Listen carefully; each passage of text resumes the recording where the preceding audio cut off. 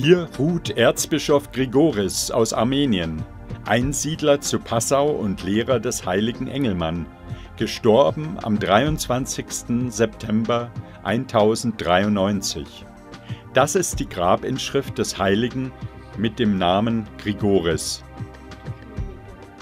In der Kirchenchronik von Windberg, nahe der Stadt Passau in Deutschland, wurde aufgezeichnet, gestorben am Mittag bei Sonnenfinsternis und beigesetzt vor dem Kirchenchor von Niedernburg. Die Grabstätte des Erzbischofs Gregorius vor dem Kirchenchor der rekonstruierten Heiligkreuzkirche existiert bis heute. Er hat in Bayern einige Schüler gehabt, die später in den Stand von Heiligen erhoben worden sind. Es gab auch einen seinerzeit weiteren berühmten Gregorius, nämlich den von Pithiviers.